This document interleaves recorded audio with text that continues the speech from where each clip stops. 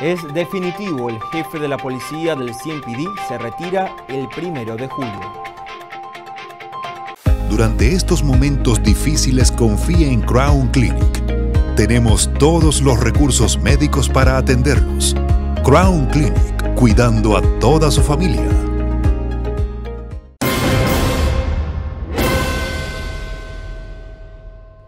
El jefe de la policía de Charlotte Mecklenburg, Kirk Putney, anunció formalmente su retiro, el cual será efectivo a partir del primero de julio.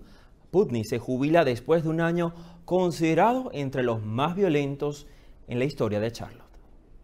Aunque la noticia de la jubilación de Putney no era del todo nueva, la fecha de vigencia sí lo es. El mes pasado, Charlotte nombró al nuevo jefe de policía, al subjefe Johnny Jennings. Putney se unió a CMPD en 1992 como oficial de patrulla y realizó una variedad de tareas de patrullaje, capacitación y especialización en varios rangos antes de ser ascendido a subdirector de policía en 2007.